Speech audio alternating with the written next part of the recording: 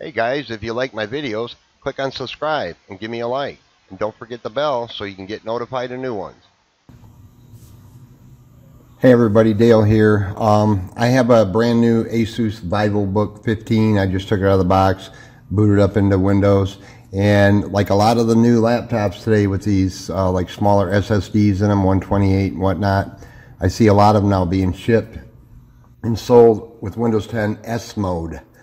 It's not a big deal, but simply if you have S mode enabled, you can't download and install any apps or programs outside of the Microsoft Store.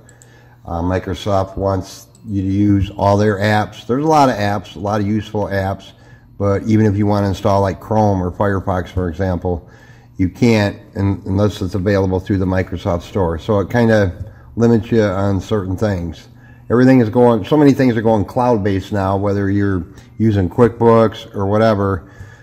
Technically, you know, if you're using the cloud-based version as opposed to the desktop version of something, you, you probably don't need the app, but I'm going to show you how easy it is to switch your new laptop or computer out of S mode. So all we're going to do, the first thing here is I'm going to click on Start. I'm going to go here to Settings. I haven't got any Windows updates or anything yet. I just booted it up right out of the box and you, I'll go over here to system. Go down here and click on about. You can you can see here Windows 10 home in S mode. So we're going to change that to Windows 10 home and get it out of S mode. Microsoft wants you to set up or sign in to a Microsoft account to, to switch that over. And it's free of course. It's real easy. So to do that just go to update and security right here. Go over here on the left column where it says activation. Click on that and right here it says go to the store to switch to Windows 10 Home. Just click on go to store. Got to have internet access, of course. Make sure you're connected to the Wi-Fi. Click right here on Get. Now, if you already have a Microsoft account, that could be hotmail.com, msn.com, live.com, outlook.com, anything Microsoft, just sign in and put in your password and boom, you're done. but like me, a lot of other people, we don't want to have to sign into a Microsoft account every time we use our device. So if you click on uh, create one, you can use you know, a phone number instead, or you can use your existing Gmail account or whatever. But if you just click right here on get a new email address, probably the easiest way, you just make yourself a new Microsoft account and you can use it just for signing into some of the Microsoft apps out of the store or you can use it as a alternative email address. So we'll click on this.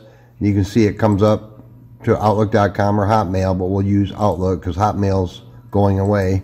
So I'll just make up a new email here.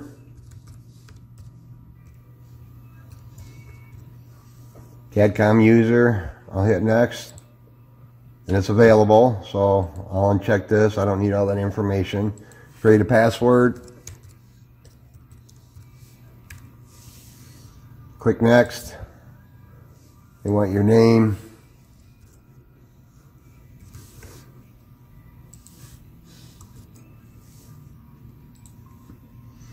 Your birthday. Put whatever you want in here.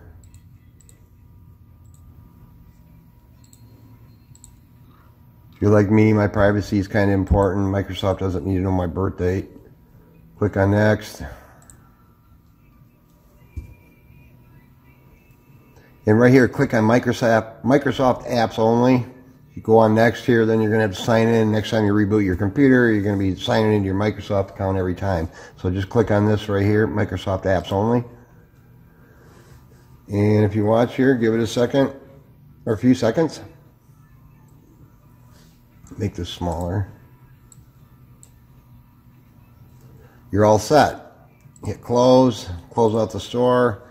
And now you can see under activation it says Windows 10 Home. Now you can install anything you want. You got Windows 10 Home. Didn't cost you a dime. It was quick and easy and painless. But now you got a Microsoft account you can use to sign into apps or use it as, a, as an email address.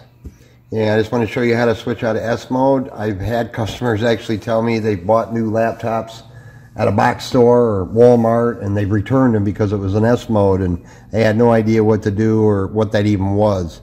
So I just want to show you how to do that. Appreciate you watching. Don't forget to subscribe and have a great day.